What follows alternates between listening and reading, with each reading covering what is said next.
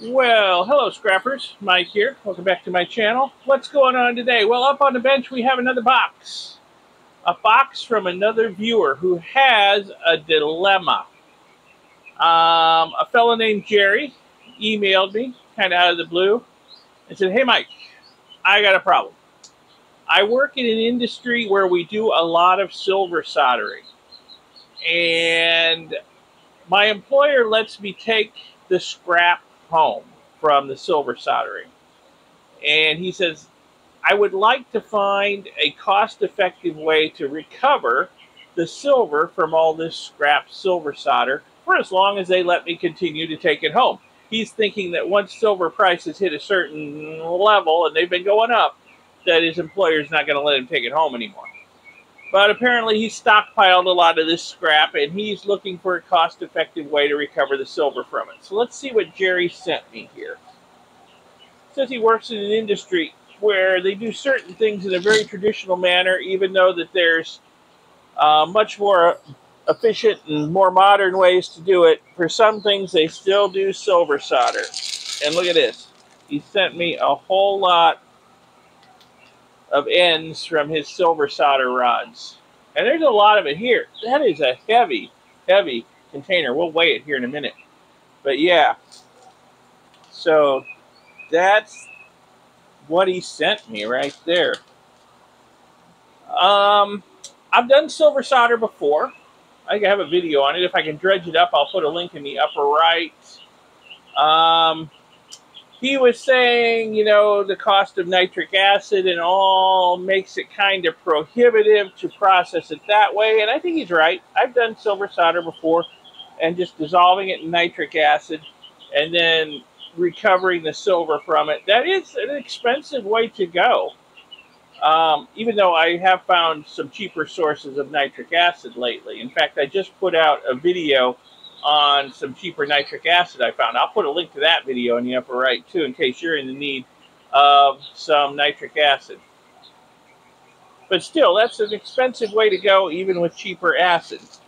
So um, he's wondering if I can come up with a different way to uh, get the silver out of this without having to resort to expensive nitric acid? And Jerry, the answer to that question is a great big maybe. uh, possibly. Um, and this is something I might want to turn to the wisdom of crowds, the smart people in my audience. They might have some ideas. Like, could we maybe smelt this stuff and get rid of most of the impurities in it and wind up with reasonably pure silver without having to resort to nitric acid. That would be something, wouldn't it? Um, now, I did look up the data sheet on this stuff. Um, it's he says that they're using Radnor Safety Silv 56 brazing filler material, and um, the approximate composition is about 56% silver, hence SIL 56 in the name. Um, so 56% silver, about 22% copper, 17% uh, zinc roughly, 5% tin, and 0.15% other stuff. So there's a lot of copper, zinc, and tin in here that needs to go away. So I don't know if smelting can accomplish that.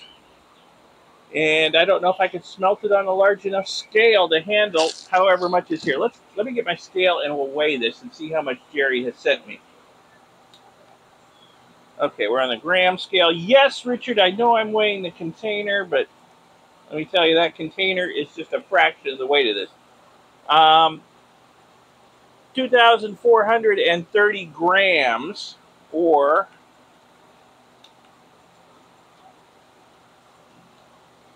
Five point three five seven pounds. That's what we've got here. Should be about 56% silver once we get rid of all the other stuff there. The, the question I have is, how's the best way to get rid of that other stuff? I know I can do it with nitric acid. Um, poor man's nitric acid using, um, say, uh, sulfuric acid drain cleaner and a nitrate salt might work, but I am a little worried about the low solubility of silver sulfate. because always the lowest solubility um, chemical is going to come out of solution. You know, we're not just going to make silver nitrate that way. We're also going to make silver sulfate, and that's probably going to drop out of solution. So um, I don't know that poor man's nitric is the way to go. Yeah, could do it with nitric, but even with my cheaper nitric acid source, it's going to be expensive to process it. Jerry specifically mentioned he'd like to see a non-nitric acid way to do it.